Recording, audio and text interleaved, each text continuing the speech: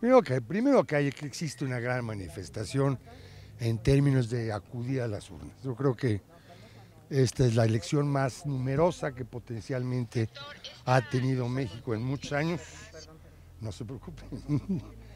y, y primero hay un llamado, porque la mejor forma de tener paz es participando. Muy lamentable, por supuesto, los acontecimientos de violencia que se, han, que se han manifestado en diferentes formas, particularmente el de ayer, por la vecindad de las, elecciones. Do- Doctor, usted llamaba a la reconciliación. ¿Qué significa eso para usted?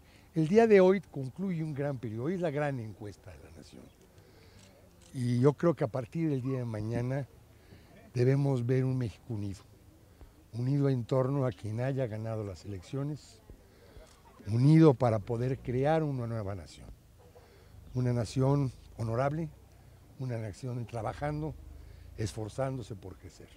Usted decía que las elecciones estaban blindadas. Eh, el, el PREP, el, el sistema informático de línea que auditamos está en muy buenas condiciones, es un programa de resultados muy fortalecido.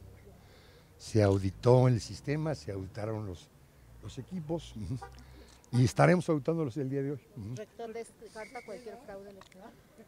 Descarta el fraude. Yo creo que la participación ciudadana de millones de mexicanos harán patente que esto ha sido una elección democrática ejemplar. Rector, eh, con respecto a las otras jornadas electorales en las que le ha tocado participar, ¿qué notaría usted de diferencia en esta de hoy? Esta ha sido indudablemente la más numerosa, la más polarizada y en donde México juega finalmente eh, la decisión de qué nación quiere ser.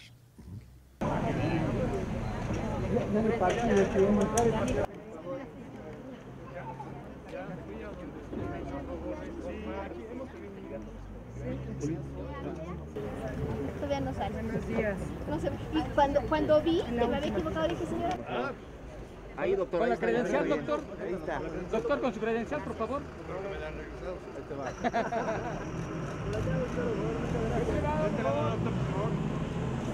acá, rector.